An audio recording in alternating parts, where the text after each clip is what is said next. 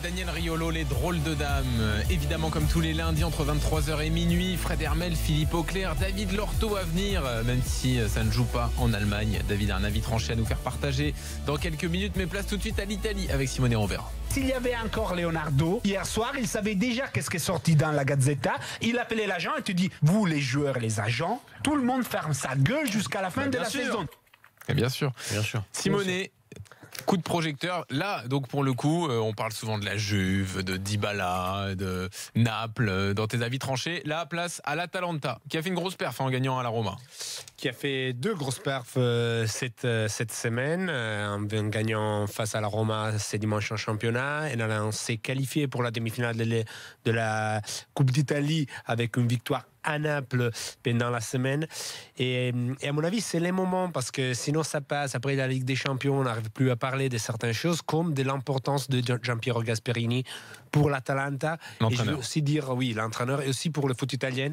C'est pour ça que j'espère, euh, et je parle avec ça dans mon avis tranché, de le voir euh, prochainement, la prochaine saison, pourquoi pas, sur un banc important en Serie A ou en Italie. Et quand je dis ou en Italie, parce qu'il y a un banque très important en Italie qui est libre, euh, celui de la sélection, bien sûr, parce que Gasperi est en train de faire quelque chose d'extraordinaire de, avec une équipe qui n'avait pas énormément de moyens, qui aujourd'hui en a beaucoup parce que ses joueurs, les joueurs qu'il a fait, qu'il a révélés, ont été vendus et même si cette équipe a perdu des joueurs importants, reste au plus haut niveau parce qu'il a poursuivi des rêves, c'est-à-dire euh, l'effet de faire jouer à l'Atalanta pour la première fois l'Europe depuis 26 ans, de la jouer au fond, euh, de faire vivre cette passion des supporters de l'Atalanta et dire bon, on a joué, on a mérité ensemble d'être en Europe et donc on va chercher d'être au mieux en Europe. Il y a plein de clubs qui oublient l'Europa League et cherchent de se qualifier pour une autre compétition, que ce soit l'Europa League ou la Ligue des Champions, et, la jouent pas au fond. L'Atalanta arrive première dans un groupe avec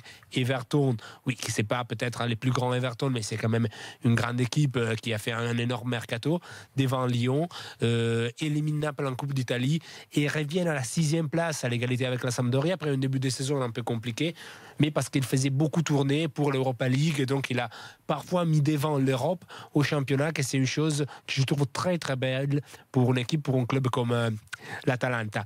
Et c'est pas la première fois qu'il fait des exploits comme ça. Gasperini, peut-être on le connaît pas trop en France. Gasperini, en 2009, euh, euh saison 2008-2009, avec le Genoa, qu'il avait fait déjà remonter en Serie A de la Série B en saison 2006-2007, il fait retrouver l'Europe au Genoa après 17 ans. Quand tu es un entraîneur que tu fais retrouver l'Europe au Genoa après 17 ans et à l'Atalanta après 26 ans, ça veut dire que tu as quelque chose de spécial. Tu arrives à trouver, à tirer les mieux de tes joueurs. Euh, il y a des joueurs qui ont fait des parcours incroyables. Kessi était inconnu, il est au Milan aujourd'hui. Gagliardini inconnu, il est à l'Inter. Conti, il est allé à Milan. Sur Cristante, qui était un peu un joueur perdu pour le foot italien, aujourd'hui, il y a tous les plus grands clubs italiens qui sont sur lui, comme la Roma, la Juve. Donc, il sait valoriser les jeunes. Et c'est son club est réussi à à vendre et, aussi des joueurs, à se donner une image européenne.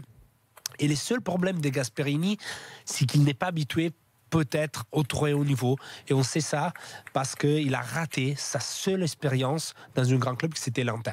C'était l'Inter 2011-2012, donc deux années encore après euh, la folie ah, de Mourinho et la Ligue des Champions. Est-ce qu'il pouvait vraiment réussir à ce moment-là?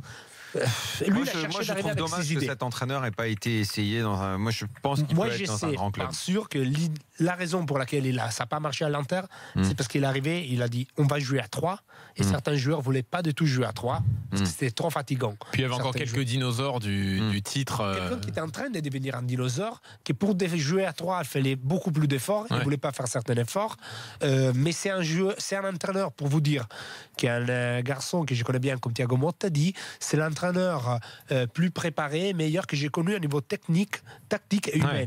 Euh, c'est quelqu'un. Moi, je pense qu'il y a, des clubs en France euh, qui, ont des moyens qui devraient se pencher sur un mec comme ça. Et moi, j'ai dit, j'espère le voir dans un grand club d'Italie. Hein genre Lyon. Pourquoi pas en Europe Ce serait très beau pour lui. Et pour vous dire, il a lancé des jeunes, mais plein de jeunes. Paolo Dybala, lui, dans sa saison cauchemardesque à Palerme, c'est lui qui l'a fait débuter. Ouais. Euh, titulaire pour la première fois en Serie A et son premier doublé l'a fait la deuxième fois qu'il était titulaire avec Gasperini sur les bancs. Mais encore, je sais pas, les Perotti, les Charaoui, euh, les Milito, les Mota, euh, il y a plein de joueurs qu'il a révélés au grand public. Écoute, on retient Gasperini, on espère le voir dans un grand club. Hein, il, a, il, a, il a la va Faire 50 ans ces mois-ci. Combien? 50. Putain, je voyais 60. Ah, tu, tu, tout le monde. Ah ouais, mais non, mais avec les cheveux blancs, les cheveux blancs, ça veut rien dire. Ah, c'est bon. Je me suis laissé abuser par ce détail. Pardon, pardon. Alors, pardon. Simonet, euh, parlons quand même du reste de l'actu. 50 Ah bah ouais, alors faut vraiment que. 60 ah cette année alors. Ah. Je te dis, je me suis trompé. Il va faire 60 cette année. Ah, oui, c'est bon. 59 ans. Oh, voilà. Bon, bah, voilà. Ah, il est du 58. Je me suis trompé. Ah, il bon. est de 58 58. Enchaînons. Voilà. Simonet, Blaise ah. Matuidi, donc victime de chant raciste. Faut quand même en dire un mot. C'est encore la, la, mauvaise histoire de Cagliari. C'est une C'est que Cagliari, c'est isolé ou il y a un problème de fond. Faut, parler de Cagliari parce que la saison dernière, c'était Montari qui voulait quitter le terrain.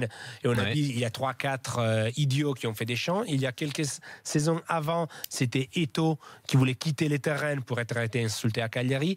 Et quand le club aujourd'hui communique en disant oui, mais c'est 4, 3 idiots et nous, on n'est pas comme ça, euh, c'est 4 idiots chaque fois, chaque année. C'est un peu facile comme réaction? C'est un trop simple. Bon, j'espère que cette fois, qu'elle arrive à faire seulement pas des belles mots, parce qu'il fait un tweet en français très beau, très correct, très poli, euh, mais il faut faire quelque chose en plus. C'est-à-dire, si c'est quatre idiots, il faut que ces quatre idiots qui soient 4 ou 40 ne rentrent plus jamais dans ton hmm. stade. Et il faut arrêter avec ça. Après, c'est pas seulement identifier, c'était pas facile. Mais non, mais le, Jonathan Zibina, qui était dans Team Duguay aujourd'hui, qui a joué présent en Italie, dit euh, euh, c'est un problème de, culture dans les stades italiens. C'est un problème vraiment profond. Bien sûr, mais en fait, il y a une hypocrisie qui est terrible. Euh, ça, ok, dire, ça arrive dans plein de pays, on l'a vu, on l'a entendu et tout. En Italie, pourquoi c'est récurrent? Le problème de ces quelques abrutis partout dans les stades qui le font. Mais le problème, c'est qu'évidemment, quand tu n'as jamais voulu régler les problèmes en tribune. Ah, le, football le football en Italie, moi je vous le dis très sincèrement, je suis très inquiet et pessimiste pour le football de ce pays. C'est pas le fait que la compétition Simonet, je t'assure, à force de ne pas vouloir voir la, vérité en face en Italie, je t'assure que ça va aller de mal en dans, euh, au niveau du foot de ce pays. C'est pas parce que la compétition se porte bien, dans le sens où les matchs sont intéressants, là je suis d'accord avec toi, que ça améliore les résultats forcément en Coupe d'Europe d'autres clubs à part la Juve, qui est une, société qui marche très très bien et pour, euh, pour qui ça va très bien. Mais l'équipe nationale reste sur deux Coupes du Monde pourries plus une ratée. Euh, j'ai vu le très bon reportage que tu as fait, là, qu'on a fait pour Transversal, que tu es allé faire. Moi, quand j'entends même des Paolo Rossi, Bergomi, et des mecs quand même avec une expérience énorme qui ont été champions du monde, analyser la situation du foot et sortir presque autant de banalités sur l'état du foot et pas comprendre. Alors, revenons sur les supporters. Voilà, bon. Ben, les supporters en Italie, on n'a jamais voulu rien faire. Ils ont pris le pouvoir dans tous les clubs. On a laissé les dirigeants, ont laissé les pouvoirs aux ultras. On a vidé les stades. Mmh. Aujourd'hui, les stades sont toujours à moitié vides. Il y a plus de stades en Italie. Tu vois, même, même, même quand on dit. Euh, je, suis un peu en train de mélanger tous les problèmes, hein, mais les structures, les stades, même le San Paolo avec la grande piste et tout, même si c'est plein, c'est pas tout le temps plein. Mmh. Euh, bon, voilà. Euh, le stade olympique à Rome, on n'en parle même pas. Les, la situation des deux clubs de Milan, qui sont des locomotives essentielles à, à la bonne santé de ce football-là, sont, sont en mauvais état. Voilà. Et donc, à côté de ça, on laisse les supporters prendre le pouvoir, qui sont gangrénés absolument par l'extrême droite. L'extrême droite, c'est pas un privilège de l'Italie. On est dans un pays où l'extrême droite était au deuxième tour. Euh, il y en a partout. Des champs racistes, ça s'est déjà mmh. vu en Espagne aussi. Euh, bah, ça ne se voit plus en Angleterre depuis très longtemps parce qu'ils ont fait le ménage il y a très très très très très longtemps. Mais ça se voyait euh, mmh. euh, dans les années 80 et années 70, ce genre de choses-là. Voilà. On ne s'attaque pas au problème. Et quand en plus l'autre idiot qui était à la présence de la Fédé, euh, Tavec, pouvait se permettre de raconter toutes les conneries du monde, et avoir, des propos racistes lui aussi, c'est ce que je dis. c'est ça le problème. Donc, que tu ne règles pas les problèmes. Eh ben après, tu peux continuer à dire, ouais, c'est vrai, c'est bien ce qu'ils ont fait, le club, l'excuse et tout. Euh, le mot, il est sympa. Mais si à côté tu vas pas régler et que le week-end bah prochain les mêmes crétins, tu les laisses bah rentrer, bien sûr. tu régleras pas le problème. Mais tu le règles dans aucun stade. C'est une phrase. Et euh, Daniel a 100% raison. En Espagne, ça arrivait aussi. bien sûr un, type qui un type qui est, que beaucoup de gens détestent, qui s'appelle Javier Tebas, qui a dit c'est fini.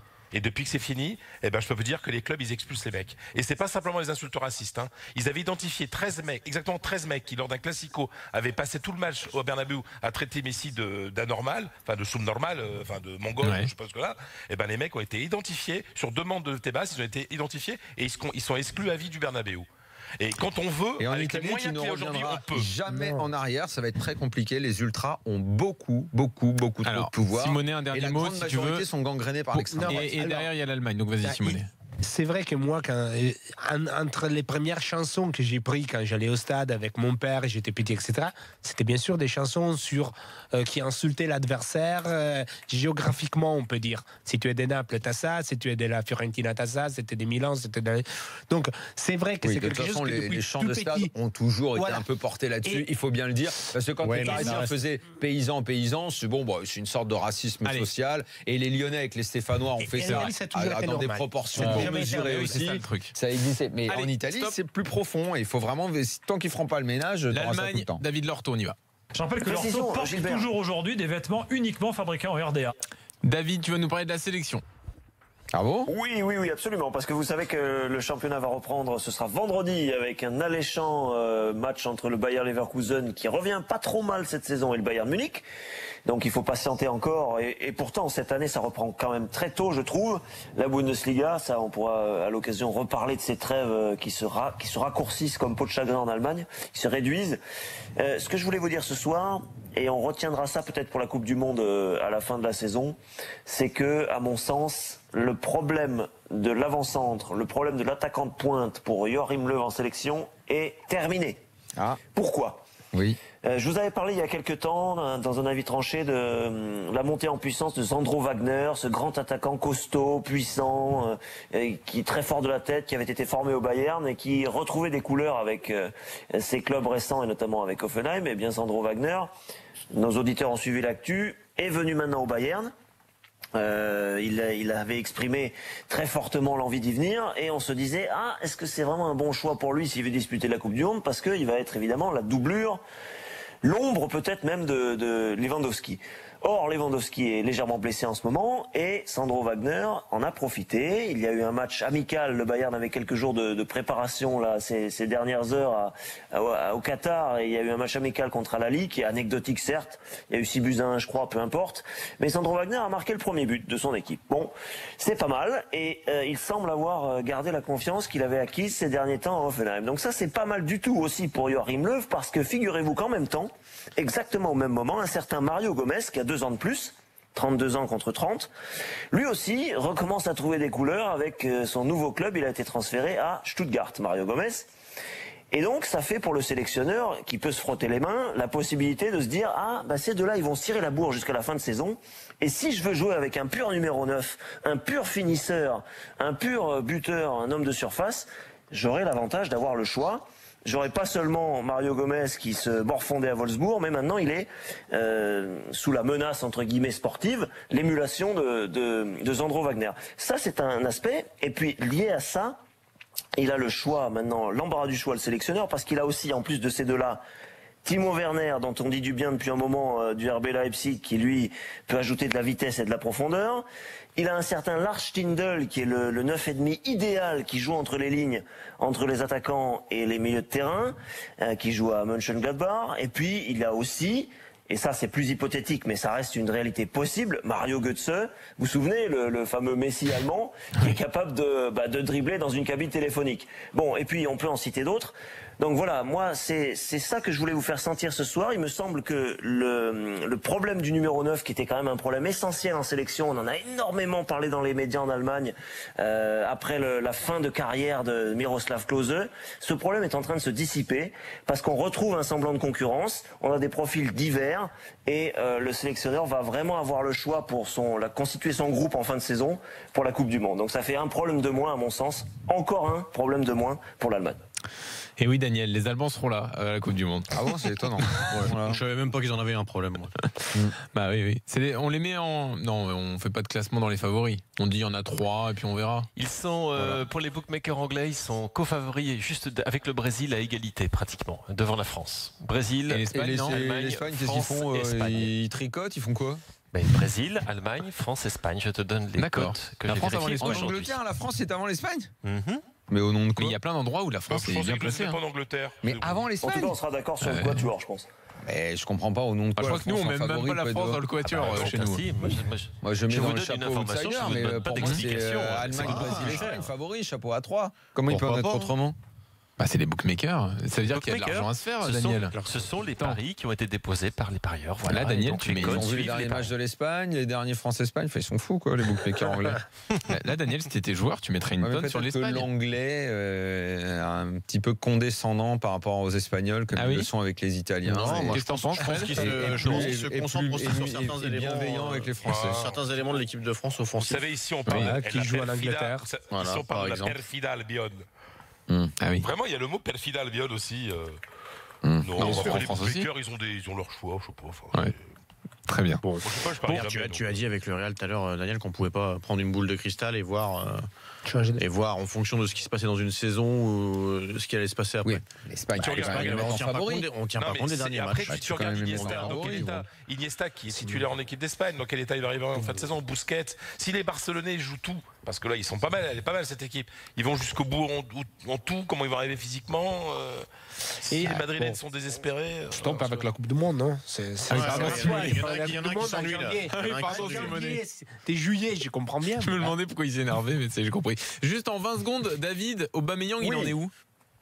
Oui, bah alors Aubameyang, euh, je, voudrais, je, voudrais, lui rendre un tout petit peu hommage euh, ce soir rapidement ah, parce qu'il avait été, il avait été euh, euh durement euh, critiqué par ses propres supporters tardivement, mais d'abord aussi par les médias et puis par les, les, les observateurs et surtout ses dirigeants parce qu'il avait fait des incartades, parce qu'il était allé ceci à Milan, parce qu'il avait fait des, des, choses un peu en dehors des règles. Mais là, il y a une petite histoire qui le concerne. il a eu le droit officiellement de la part de son club de revenir à l'entraînement. Vous savez que le Borussia Dortmund, enfin vous savez pas, mais je vous le dis, étant, était en, en, stage de reprise dans le sud de l'Espagne, à Marbella. Ah, c'est étonnant, le sud de euh, l'Espagne, les clubs allemands. Il va falloir conclure, mon petit David. Et, et Aubameyang s'est autorisé avec l'accord de son club trois jours de, de, de retard pour revenir parce qu'il recevait un prix et puis il a aussi un privilège supplémentaire, c'est que sa famille l'accompagne dans l'hôtel du, du, club alors que c'est par ailleurs strictement interdit. Donc il a quand même des privilèges qui lui sont aussi accordés par ses dirigeants. Il, faut rendre cet hommage. Merci David, merci à toutes les drôles de dames. Daniel, Pierre, merci également. Merci Demain, l'after arrive après la Coupe de la Ligue, effectivement. Nice-Monaco à 21h, donc l'after dans la foulée. Quart de finale de Coupe de la Ligue toute la semaine sur RMC. Ciao.